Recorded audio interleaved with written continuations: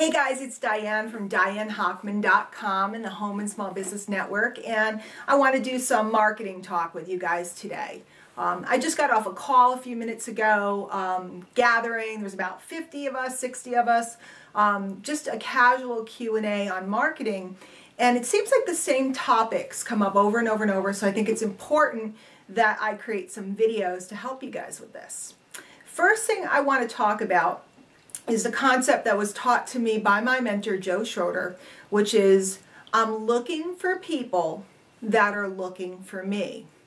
Now, when I learned this concept, it absolutely changed my business because I was taught initially that I was to go out and look for people and try to convince them. Uh, I was involved in network marketing, um, still am, love network marketing, love the industry, but I was taught that my business and my product was for everybody and that I was to go out on the streets and solicit people. Now this didn't work out very well for me. And granted, there are some people that are really good at this, but for me, it, it just it just made me, you know, sick to my stomach um, uh, uh, going up to people and trying to pitch them and saying things like, if I could show you a way to earn an extra $500 around what you're already doing, would you want to take a look? That just wasn't for me. And um, I also always felt like I was convincing people and it felt wrong. So when I first heard Joe Schroeder say, I'm looking for people that are looking for me, that made sense. And I started to document in my journals. These are my old journals from back then. Um, I got two of them. These are from 2005 um, I started to document who my people were and what they were looking for. So my target market, the people that would be right match for me and the product line I was representing at the time, and what they were looking for so that I could, like a bunny, hop up in front of them. Now guys, this was before social media. This was before YouTube. I think YouTube was just starting to exist then, um, before blogs were just coming out. I mean, all this Twitter and Facebook and MySpace, none of that existed. And there were sites that were just allowing us to use tags and keywords and SEO was a whole different animal back then. So it's a little more complicated today, but back then I learned really quickly how to use certain words that would target people that were looking for me.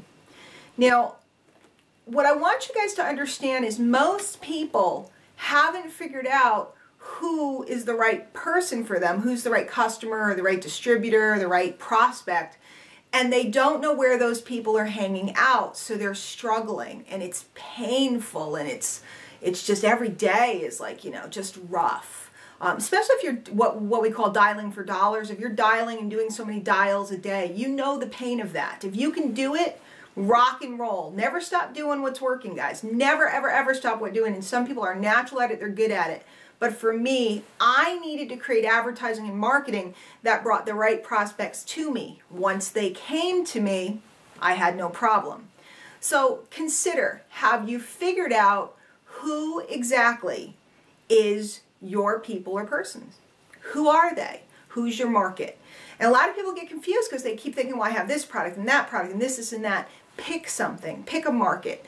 Pick um, women over age 45 who are just starting to know the signs of aging on their face and are horrified when they wake up in the morning. Pick people who have just been diagnosed as diabetics and they're looking for natural alternatives to drugs to correct their diabetes pick, you know, I don't know what your market is. Pick people that normally would go on a big exotic vacation every year and because of um, circumstances and finances they can't go and they're looking for reasonable alternatives and you sell a travel membership. Um, who are they? Where are they on the internet? Where are they looking? Or in what publications are they looking in? If you can figure this out, and you also can communicate well about what problem you solve for the people, it's a slam dunk, baby. It's a slam dunk. The game's over. You don't need fancy websites, you don't need this, you don't need that. All you need to do is have the right solution in front of the right people with a problem. Message to market match, boom, you're done.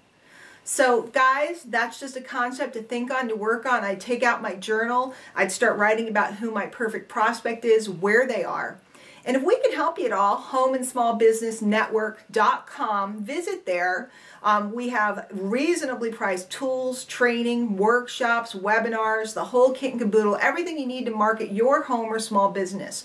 Whether you're in network marketing or you own a Main Street, you know, storefront, whether you own a private practice, whatever it is that you have that you're looking to enhance, we have tools and training for you. So we'll see you guys next time. Take care.